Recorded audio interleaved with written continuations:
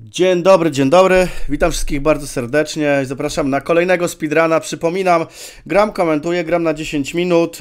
No i 10 porażek kończy serię. 9 porażek jest już na koncie.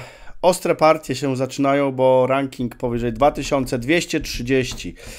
E, cóż mogę powiedzieć? W międzyczasie, jak szukam przeciwnika, e, przegrałem partię teraz. Trochę jestem wściekły. Spróbuję trochę odbić w speedrunie. Zobaczymy, jak pójdzie. E, Ale póki co jeszcze przeciwnik jest szukany. Mamy gościa. Stany Zjednoczone 2324. No to lecimy, moi drodzy. Zagrajmy D4. E, No i zobaczymy, jaki debiut nastąpi. Skoczek F6, no to C4, gambit hetmański, chociaż może być oczywiście i królewsko-indyjska, i Greenfeld, i Benoni, i gambit wołżański. W zależności, co tutaj przeciwnik będzie grał. D5 w pierwszym, w drugim ruchu, no to oczywiście wybijamy z pocałowaniem ręki.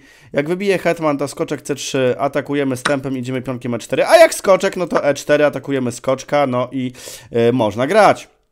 Oczywiście tak też grają, ale myślę, że to jest dla białych e, bardzo komfortowa sytuacja.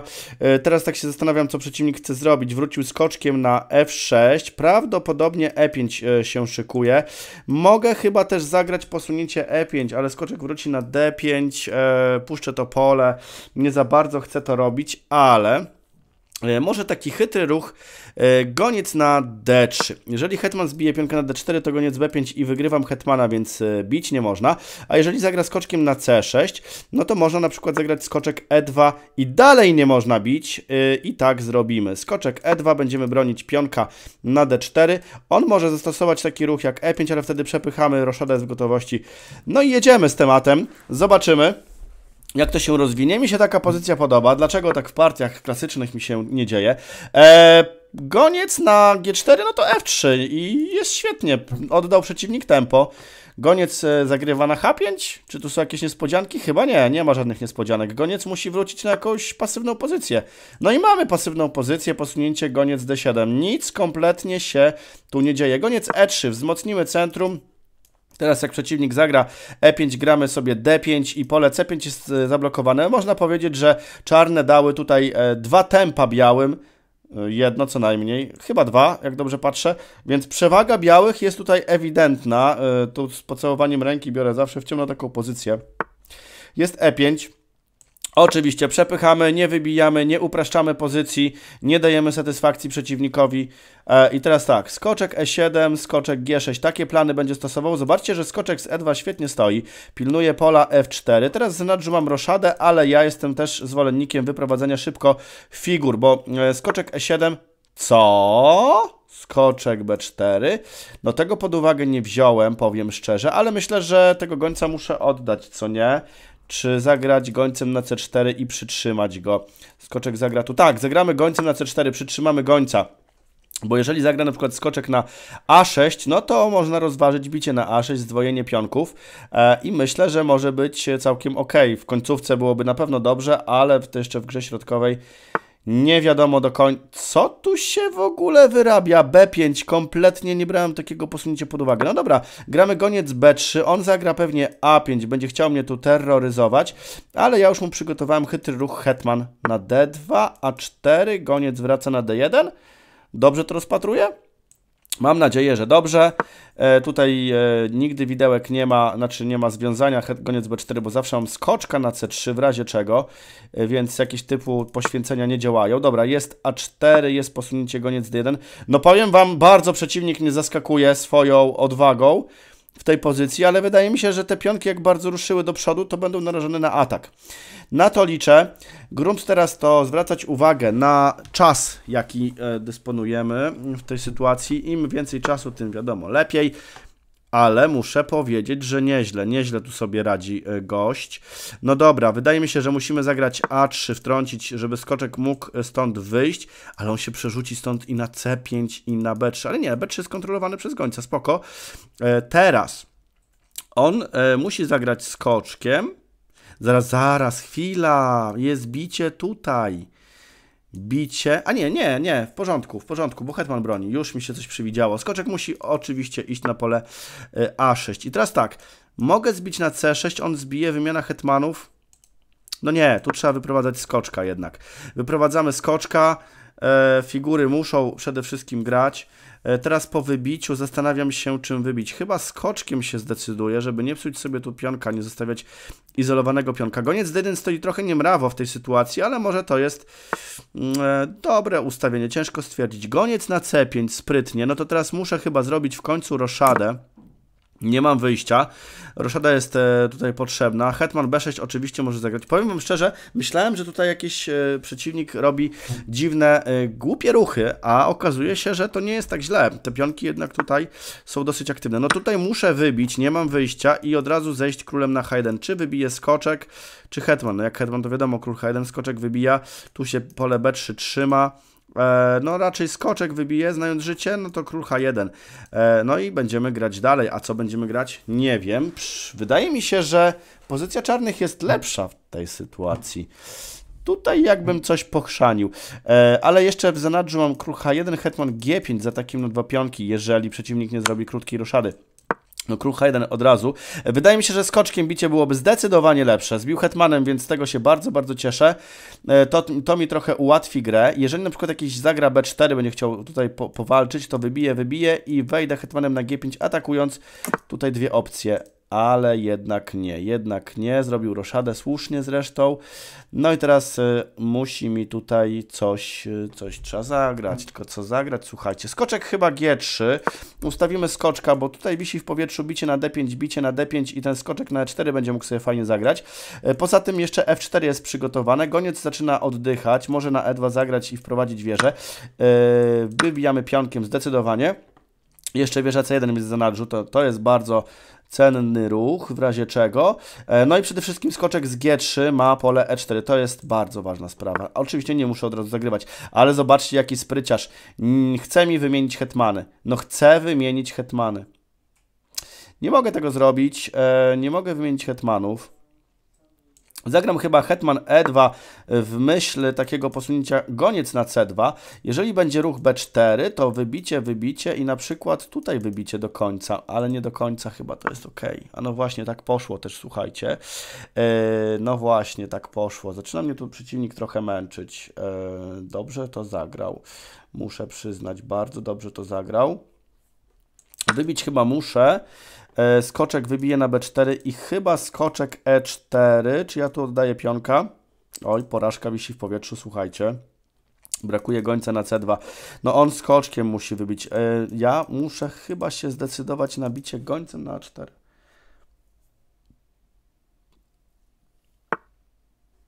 Wow! A takiego posunięcia to się w ogóle nie spodziewałem, ale wydaje mi się, że to jest babol, bo ja mogę zbić po prostu wieżą. E, I gra gitara, po prostu oddał mi pionka.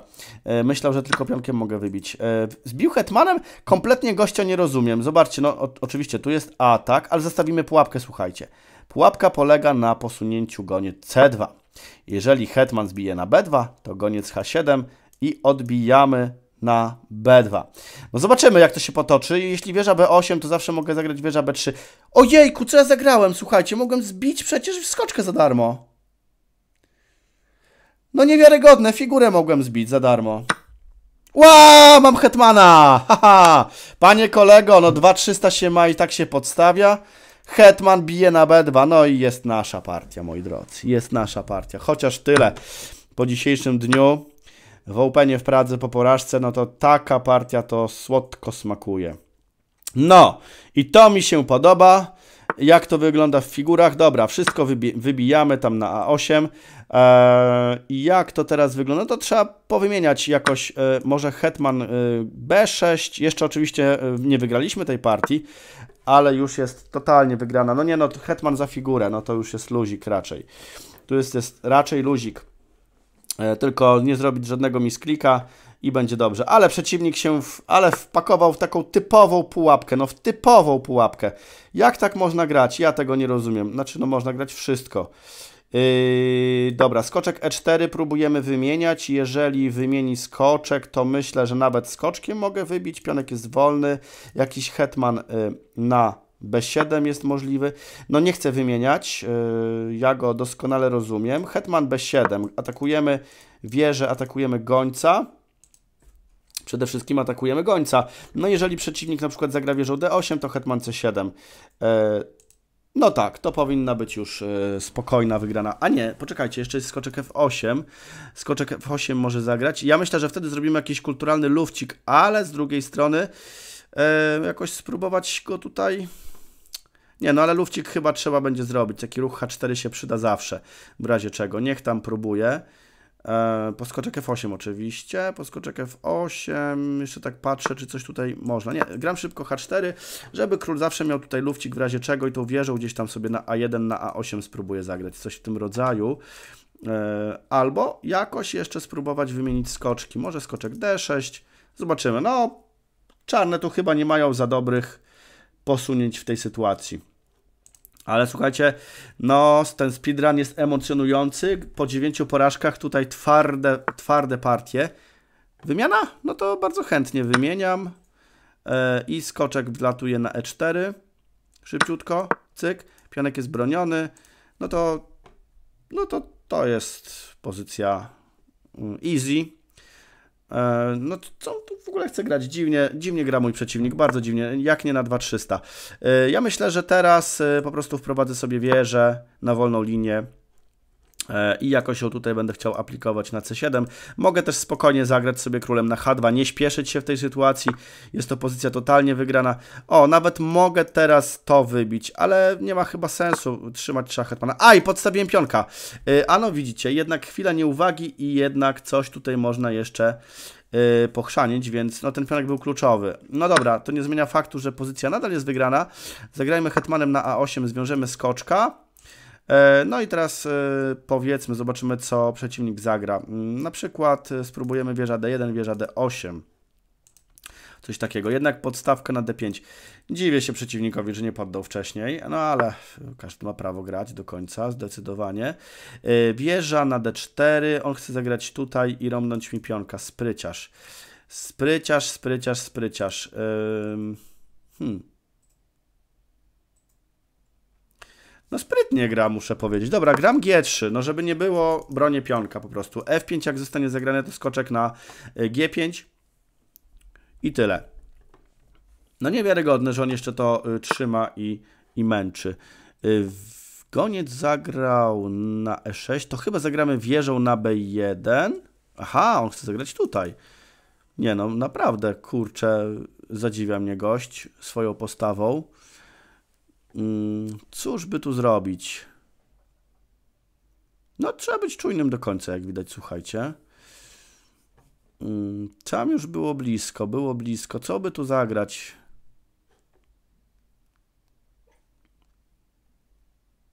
Hmm.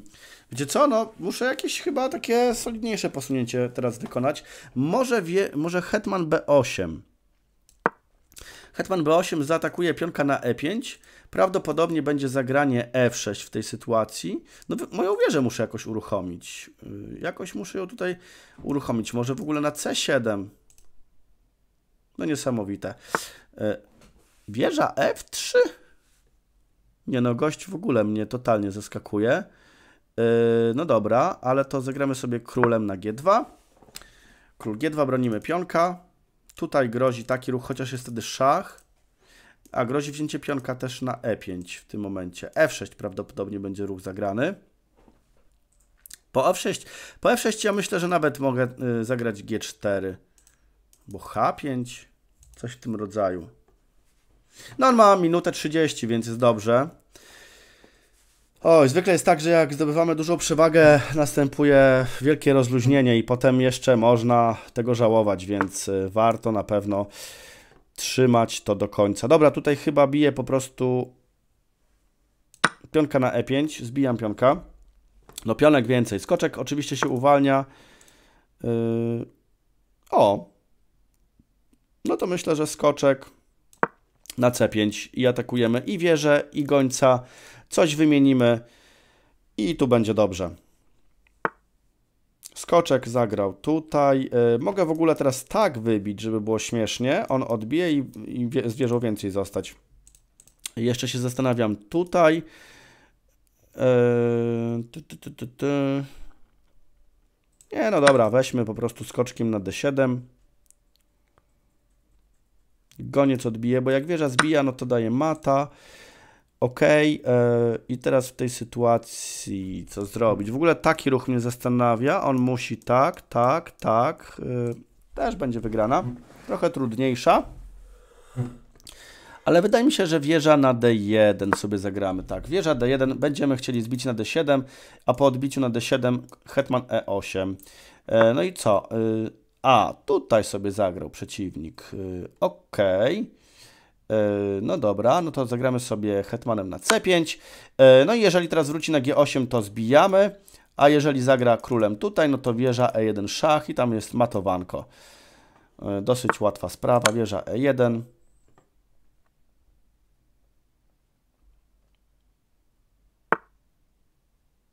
Aha, no to tutaj można chyba nawet... Y, a, nie można wybić.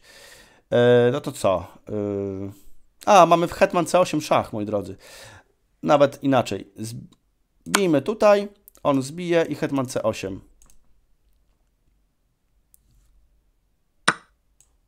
I hetman C8. Nie ma misklików, nie ma misklików. Wygrywamy tę partię, moi drodzy. Wygrywamy. No jeszcze gra do końca. Naprawdę do mata będzie grał niesamowite. No panie kolego, no, mamy to moi drodzy. Dzięki za dzisiaj i widzimy się w kolejnym odcinku. Przypominam szachowo.pl z kodem pan szachuś macie 10% zniżki w sklepie szachowym. Pozdrawiam i do usłyszenia.